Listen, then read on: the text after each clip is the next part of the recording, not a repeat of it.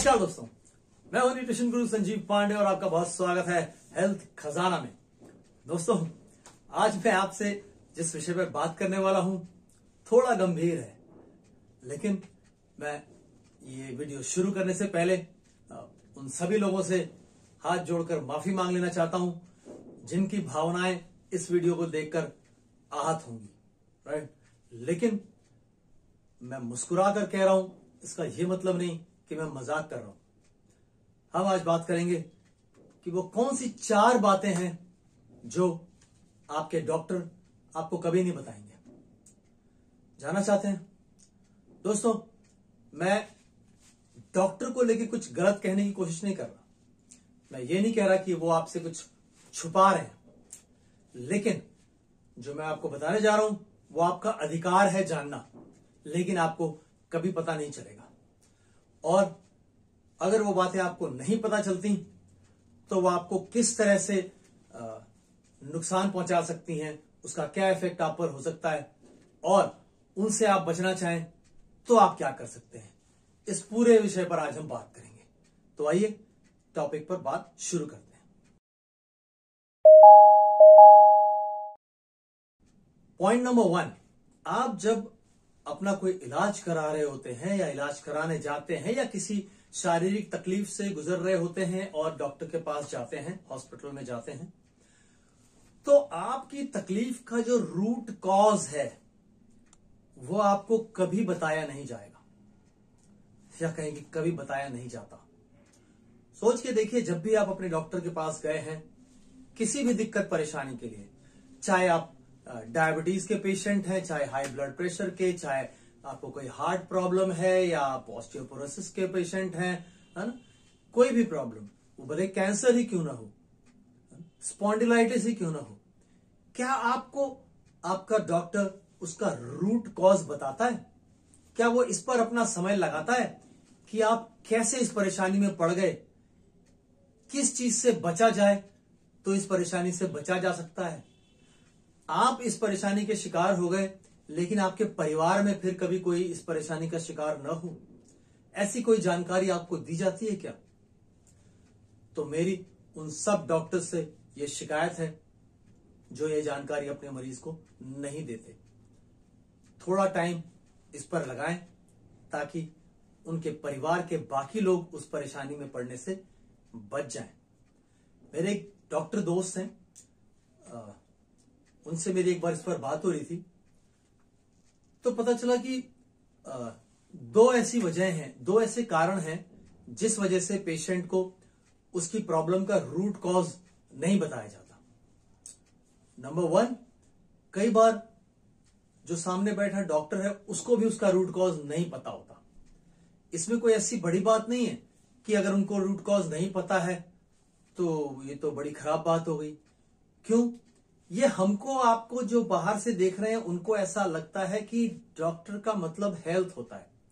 नहीं दोस्तों, आपके घर में कोई डॉक्टर हो, आपके कोई जानने वाले डॉक्टर हो तो उनसे पूछेगा कि जब वो मेडिकल की पढ़ाई करते हैं कॉलेज में तो उनकी पढ़ाई कहाँ से शुरू होती है? क्या पढ़ाया जाता है? क्या उन्हें रूट कॉज के बारे में पढ़ाया जाता है, जो हेल्थ चैलेंजेस क्रिएट होती हैं उसके बारे में? मेरी जानकारी है कि उनकी पढ़ाई शुरू होती है सिम्टम से। जो आपके शरीर में लक्षण पैदा हो, उनको वो पहचाने और ये आपको बता पाए कि इस तरह के लक्षण के लिए क्या ड्रग्स लिए जा सकते हैं, क्या दवाएँ आपको दी जा सकती हैं। उनकी पढ़ाई इसी के आगे चलती है कि क्या लक्षण हो तो क्या ड्रग्स दिए जाएँ और उन ड्रग्स के अगर कुछ बैड इफ़ेक्ट साइड इफेक्ट्स हो तो उसके लिए कौन से ड्रग्स आपको प्रिस्क्राइब किए जाएँ। तो एक कारण यह हो गया कि जानकारी नहीं होती। दूसरा कारण यह होता है कि वो आपके ऊपर उतना समय लगाना नहीं चाहते। वो कम से कम समय में, क्योंकि समय ही पैसा है आज के युग में, है ना? तो जितने टाइम में वो चार पेशेंट देखते हैं, उतने टाइम एक पेशेंट को क्यों दें, है ना? एक और कारण मुझे लगा। एक, न जानकारी। दूसरा, आपको टाइम नहीं देना चाहते। तीसरा जानकारी है, लेकिन अगर आपको भी बता देंगे तो फिर आप कैसे बार बार आओगे? या हो सकता है कि आपको जानकारी हो जाए तो आप कुछ ऐसा उपाय करो कि फिर आपको वहाँ आने की ज़रूरत ही ना पड़े। है ना? ये मैं अंदाज़ा लगा के कह रहा हूँ। लेकिन आप जब एज ए पेशेंट हॉस्पिटल या डॉक्टर्स के चक्कर लगा रहे हैं तो आप खुद भी इस बात को महसूस कर सकते हैं। पॉइंट नंबर टू दूसरा पॉइंट यह है कि जब आपका इलाज चल रहा होता है और आपको बहुत सारी मेडिसिन प्रिस्क्राइब की जाती हैं तो कभी भी आपके डॉक्टर आपको उन मेडिसिन से होने वाले बैड इफेक्ट्स इल इफेक्ट्स जिन्हें मेडिकल इंडस्ट्री साइड इफ़ेक्ट कहती है प्यार से बोलने के लिए, उसके बारे में नहीं बताया जाता। तमाम तरह के साइड इफेक्ट्स होते हैं, तमाम तरह के बैड इफेक्ट्स होते हैं मेडिसिन के, जो सबसे कॉमन मेडिसिन भी यूज़ की जाती हैं छोटी छोटी तकलीफों के लिए, उनके भी बहुत सारे साइड इफेक्ट्स होते हैं और उनमें से कुछ मेडिसिन के गंभीर इफेक्ट्स होते हैं, जिनकी जानकारी डॉक्टर आपको नहीं देते प्रिस्क्रिप्शन लिखते समय। ये आपका अधिकार है जानना और आप बहुत सारी छोटी छोटी प्रॉब्लम्स फेस करते हैं, उस मेडिकेशन की वजह से और आपको ये पता नहीं होता, इसलिए आप ज़्यादा परेशान होते हैं कि ये उसी की वजह से हो रहा है। अगर फॉर एग्ज़ाम्पल अगर किसी के ब्लड टेस्ट की रिपोर्ट आई और हीमोग्लोबिन लो है और आयरन की टैबलेट्स दी जा रही हैं उसको खाने के लिए तो साथ में उसको बताना चाहिए कि ये जो आयरन की टैबलेट्स आपको दी जा रही हैं, इसकी वजह से आपको कॉन्स्टिपेशन हो सकता है। ना? वो जो साइड इफ़ेक्ट है उसको बताएँ। नहीं तो वो एक प्रॉब्लम दूर करने जाता है पेशेंट और दूसरी, तीसरी, चौथी प्रॉब्लम फेस कर रहा होता है और वो सोचता है कि ये सब कुछ मेरे साथ ही क्यों हो रहा है? जबकि अगर उसको ये जानकारी रहेगी कि जो मेडिसिन वो खा रहा है, उसकी वजह से उसको चक्कर आ रहा है। उसकी वजह से उससे सुस्ती बनी हुई है। उसकी वजह से उसे ऐसा लगता है कि शरीर में कुछ एनर्जी नहीं। अगर ये सब उसे पता रहेगा तो मानसिक तौर पर परेशान नहीं होगा। उसको पता है कि जब तक उसका ये इलाज चल रहा है, तभी तक ये सब प्रॉब्लम्स हैं, फिर खत्म हो जाएँगी। तो जो इल इफेक्ट्स है मेडिसिन के, वो जानना आपका अधिकार है। तीसरी कौन सी चीज़ है जो आपके डॉक्टर्स आपको नहीं बताते? तीसरी चीज़ यह है कि डॉक्टर्स पेशेंट को यह नहीं कहते कि ये मैं मेडिसिन लिख रहा हूँ और आप बिल्कुल ठीक हो जाएँगे। ये अश्योरेंस नहीं दे रहे आज डॉक्टर्स आपको। जबकि वो जब मेडिसिन लिख रहे हैं तो उन्हें ठीक से पता है, अगर ठीक से पता है कि वो क्या कर रहे हैं और उसका क्या रिज़ल्ट होगा तो आपको ये अश्योरेंस मिलना चाहिए कि ये प्रिस्क्रिप्शन 100 परसेंट आपको फिट कर देगा या आपकी जो प्रॉब्लम है वो सॉल्व कर देगा। तो या तो समय के अभाव में अश्योरेंस नहीं दे रहे पेशेंट को, या उन्हें खुद पे कॉन्फिडेंस नहीं है कि जो ड्रग्स वो लिख रहे हैं, वो 100 परसेंट जो वो चाह रहे हैं वही रिज़ल्ट देंगे। राइट तो ये अश्योरेंस मिलने से ही काफ़ी हद तक प्रॉब्लम सॉल्व हो जाती है। हा? लोग पहले कहते थे, आज भी जो अच्छे डॉक्टर्स हैं, है ना, वो इसकी कोशिश करते हैं कि जो अपना पेशेंट है, उसको 100 परसेंट अश्योर कर सकें, है ना। और ये मेरा खुद का पर्सनल अनुभव भी है। मैं एक बहुत मेजर प्रॉब्लम से गुजरा था और मैं बिस्तर पे था तो उस समय बार बार मेरे दिमाग में यही चलता था कि सब ठीक हो जाएगा कि नहीं। और मैं ये बार बार पूछने की कोशिश भी करता था। और एक बार मैंने ज़ोर से पूछा, और I am very thankful to my doctor कि जिन्होंने मुझे 100 परसेंट अश्योरेंस के साथ कहा, बिल्कुल ठीक हो जाएँगे। और पॉसिबली उस अश्योरेंस की वजह से मेरा जो मेंटल थॉट था, जो मेरा थॉट प्रोसेस था, वो इस तरह का हो गया कि बिल्कुल ठीक हो जाएगा। और मैं बिल्कुल ठीक हो गया। ये भी बहुत ज़रूरी है। And last but not least जो चौथा पॉइंट है, जो आपके डॉक्टर्स आपको नहीं बताते, वो है कि वो जिस चीज़ का आपका इलाज कर रहे हैं, कई बार वो खुद भी उसी प्रॉब्लम के पेशेंट हैं और कई बार अलग प्रॉब्लम के। खुद भी उसी प्रॉब्लम के का मतलब हुआ कि जैसे कोई आई स्पेशलिस्ट है है ना? और आप इस उम्मीद से उनके पास गए हैं कि आपकी आँख में प्रॉब्लम हो रही है और या आपको चश्मा लगा हुआ है, आप उतारना चाहते हैं या आप चाहते हैं कि चश्मा न लगे। और सामने जो डॉक्टर आपको देख रहा है चेक कर रहा है, बात कर रहा है, वो खुद चश्मा लगाए हुए है। है ना, थोड़ा विरोधाभास। है ना? दोस्तों, आप उसको हल्के में ले सकते हैं, पर हम उसको हल्के में नहीं लेते। क्यों? क्योंकि समाधान है। अब ये आपकी समझ के ऊपर है कि आप लेते हैं कि नहीं। मैं एक न्यूट्रिशन एक्सपर्ट हूँ और मैं आपको हमेशा जो समाधान सुझाता हूँ वो न्यूट्रिशन के थ्रू सुझाता हूँ।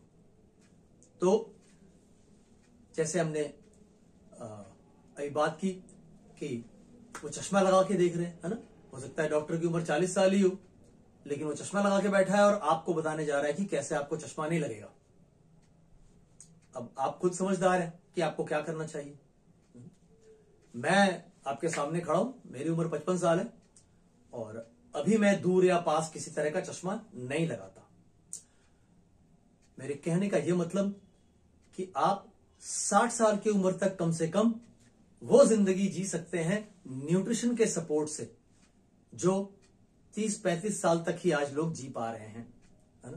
उस लाइफ को आप 60 पैंसठ साल तक कंटिन्यू कर सकते हैं। अगर आपको, आप ठीक से अवेयर रहेंगे तो। अगर आप अपने टीन्स में हैं या आप ट्वेंटीज में हैं तो भी मैं कहूँगा कि यही राइट टाइम है जब आप अच्छे से अवेयर हो जाएँ, जब आप न्यूट्रिशन की, पोषण की अच्छी जानकारी रखें। क्यों? इसलिए ताकि आपकी वो अभी बारी ही ना आए कि आपको किसी ऐसे प्रोसेस से गुजरना पड़े जहाँ आपके लिए दवाइयाँ लिखी जाए जहाँ आपका प्रिस्क्रिप्शन लिखा जाए, जहाँ आपका इलाज करना पड़े। दोस्तों, ये शरीर पोषण से ही बना है और पोषण से ही चलता है। जब तक आप इसको ठीक पोषण दे देंगे, पर्याप्त मात्रा में देंगे, तब तक आप इसको बेहतरीन अवस्था में रख सकते हैं। तो आपको इन सब चीज़ों की ज़रूरत ही नहीं आएगी कि डॉक्टर आपको इन सब चीज़ों के बारे में बताए कि क्या साइड इफ़ेक्ट है, आप सेहत ठीक करने चले हैं तो। पोषण के थ्रू अगर आप अपने शरीर को स्वस्थ रखते हैं तो अगर आपको प्राकृतिक पोषण उपलब्ध है, पर्याप्त मात्रा में उपलब्ध है तो किसी बैड इफ़ेक्ट की गुंजाइश ही नहीं रहती। आपकी रोटी का, चावल का, दाल का, सब्ज़ी का है कोई साइड इफ़ेक्ट नहीं ना? क्यों? क्योंकि ये सब आपको प्राकृतिक रूप में पोषण उपलब्ध कराते हैं।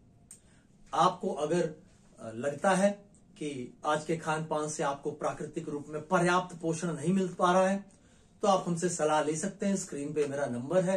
आप व्हाट्सएप के ज़रिए हमको कांटेक्ट कर सकते हैं। वीडियो के डिस्क्रिप्शन में आपको बाकी डिटेल्स भी मिल जाएँगी। ठीक है? तो आपको इन चीज़ों की ज़रूरत ही नहीं आएगी कि आप किसी के भरोसे रहें। आपको रूट कॉज जानने की भी आवश्यकता नहीं आएगी। लेकिन जानना चाहें तो फिर भी आप हमसे संपर्क कर सकते हैं। राइट मैं आए दिन पेशेंट्स के संपर्क में आता हूँ। तो पहले जो दो सवाल होते हैं, उसमें पहला सवाल होता है कि ये जो आपको प्रॉब्लम है, ये कैसे हुई? तो ऑलमोस्ट 99.9 परसेंट लोगों का जवाब होता है कि हमें नहीं पता। स्पेशली जब डायबिटीज़ या हाई ब्लड प्रेशर जैसे पेशेंट्स टकराते हैं जिन्हें ज़िंदगी भर दवा खाने के लिए कहा गया है तो उनसे मैं ज़रूर पूछता हूँ कि आपका किसी डॉक्टर ने इलाज किया होगा ना? कहीं से आपका कुछ ट्रीटमेंट चल रहा होगा, कहीं दिखाया होगा आपने तो कहते हैं हाँ लेकिन कुछ फ़ायदा नहीं हुआ। हमने कहा, फ़ायदा तो नहीं हुआ, लेकिन क्या आपके डॉक्टर ने यह बताया कि ऐसा हुआ कैसे? वो कहते हैं, नहीं। तो मैंने कहा, आपका अधिकार है, आप पूछिए। क्यों? क्योंकि आप कभी नहीं चाहेंगे ना कि आपके परिवार में आगे कोई इस तरह का पेशेंट फिर पैदा हो, जिसको डायबिटीज़ हो जाए हाई ब्लड प्रेशर हो जाए। नहीं चाहते ना? ऑफकोर्स नहीं चाहते। तो फिर अपने डॉक्टर से पूछिए कि क्या रूट कॉज है, कैसे हुआ, ताकि बाकियों को ना होने पाए। अगर आप अपने जीवन में पोषण का पूरा इंतज़ाम रखेंगे तो आपको ऐसे कोई रूट कॉज जानने की आवश्यकता नहीं होगी। क्यों? क्योंकि आपको सिंपल सी छोटी जानकारी चाहिए होगी, जो आपके स्कूल की बुक में फ़ूड पिरामिड में दी हुई होती है। आपके शरीर के हर इंडिविजुअल सेल को क्या चाहिए? अगर ये जान लिया तो आपने इस पूरे शरीर का सारा इलाज जान लिया। तो दोस्तों, अभी से ख्याल रखें, देर नहीं हुई है। जब जागे तभी सवेरा। आज से ही थोड़े से अवेयर हो जाइए। अपनी लाइफ में न्यूट्रिशन को अच्छी जगह दीजिए। इंपॉर्टेंस दीजिए। नई जानकारी है, जानकारी लीजिए। ऑलरेडी किसी प्रॉब्लम में पड़ गए हैं, हमसे संपर्क कीजिए। हम आपकी हेल्प करेंगे उससे बाहर निकलने में। दोस्तों, फिर मिलते हैं आपसे नेक्स्ट वीडियो में। तब तक के लिए स्वस्थ रहिए, मस्त रहिए। जय हिंद! अगर जानकारी अच्छी लगी हो तो चैनल को सब्सक्राइब ज़रूर करें, वीडियो को लाइक करें और अपनी राय कमेंट्स में अवश्य दें।